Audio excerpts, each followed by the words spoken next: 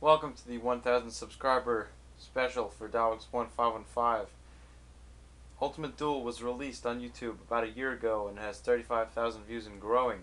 Today you're going to learn how to create the Ultimate Duel effect and how to make it look like an image is actually a part of a video. The image of Judgment Dragon looks like it is actually a part of this video. If you want to see the actual video, link is in the sidebar. Just check it out. Um, Alright, what you want to do is right click, go to new composition, uh, go to the preset, let's go to HD 720p, but if you use standard definition video, which is more square, go to NTSC DV, that is the best choice, but I'm using HD right now.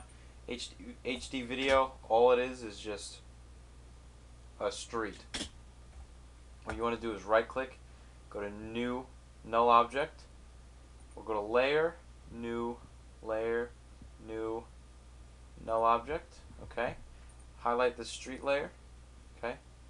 Um, go to window, tracker controls, hit track motion, and now what, what we're doing here is we're going to track the motion of this video. So whatever uh, point in the video we track, it will track the motion, create keyframes so we can put an image on the video and make it stick to the video make it look like it's actually a part of the video. Because when the camera moves, this car stays in place in real life, but it doesn't move along with the camera.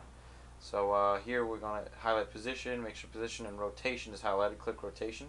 Go to edit target, make sure it is attached to your null object, whatever number it is, make sure uh, it's uh, the number that you want it to be. I want it to be null 2. You'll probably have null 1. Um, okay. Now find two points in your video that are very that do not move, do not get covered by any moving anything uh, that do not move, do not get covered by any moving objects, and that are easy to see and not blurry. Here we have a black dot right here that is very easy to read. Uh, make sure you're also at the beginning of your composition. So uh, here I have a black dot, and then over here I'm going to attach to this license plate right here. So now we have two easy to track points. Click this little arrow and go analyze forward. Now what it's doing is tracking and applying keyframes. So wherever this position moves, it has a keyframe for it. Click apply X and Y, uh, apply X and Y, OK. And now your null object is attached to the video. As you can see, it's not moving. It looks like it's actually there along with the car. This is what the point of this was. Um, to actually create the illusion of an image staying on a video. Now bring down your card. I have Dark Armed Dragon right here. What you do is select the pen tool and start masking him out. What you do, what this is, is as you click around, you're creating an outline. And when you go back to the position, and uh, when, when you cut out the uh, whatever you want, it cuts it out pretty much. It creates an outline.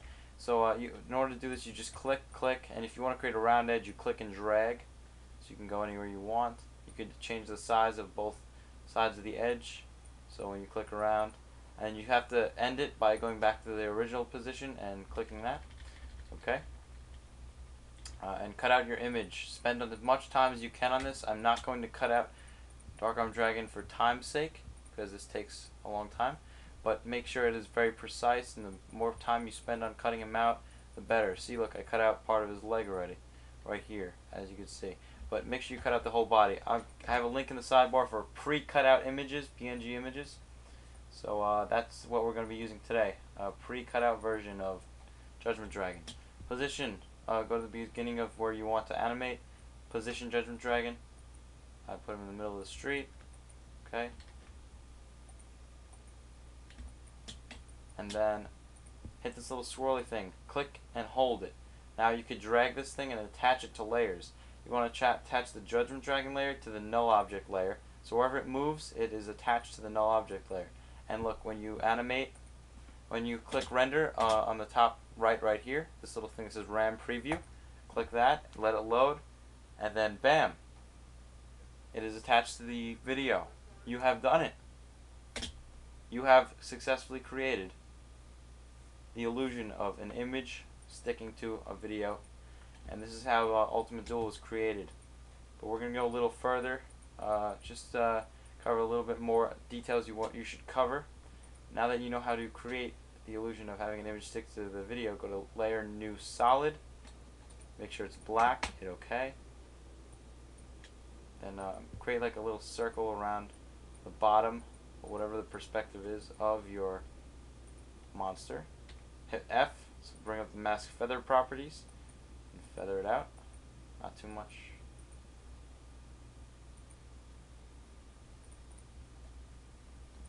See, now we created a little shadow.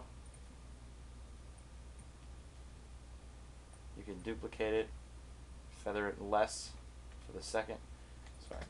Uh, duplicate the layer, make this one less of a feather, so it makes it a darker type of uh, thing. You just want to match whatever kind of shadow you see under these cars right here. It's just general.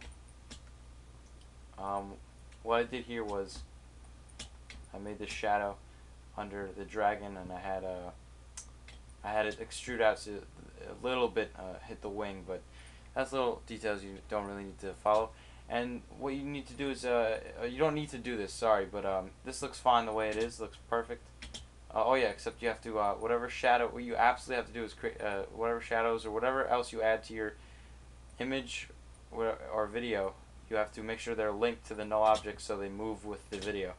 And then next you want to, uh, if you have Action Essentials, bring in Fire 6. Make it small. Put that right there.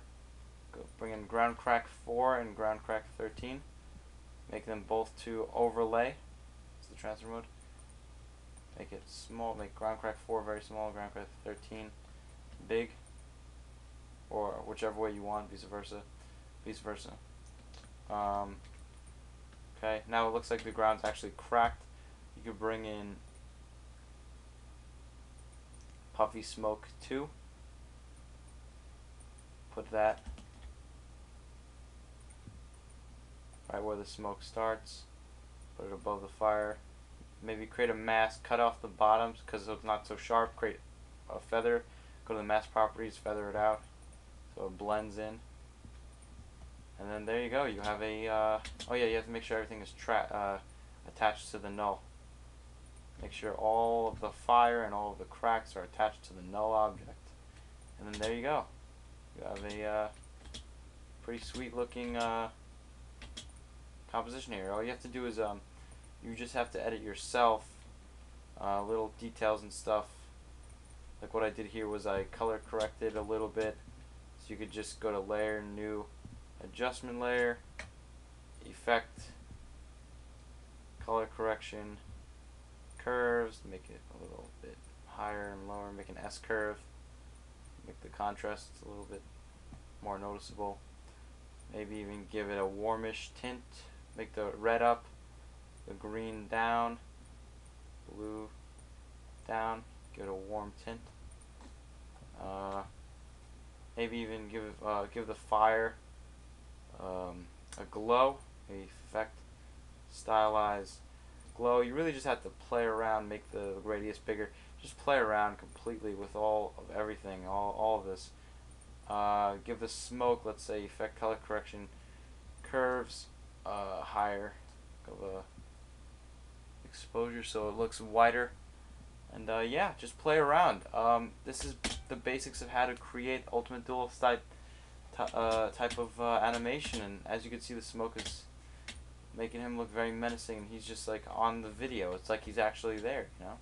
So uh, yeah, thank you for watching. I Hope this really helped you. I would like to see what you guys come up with. Alright, bye.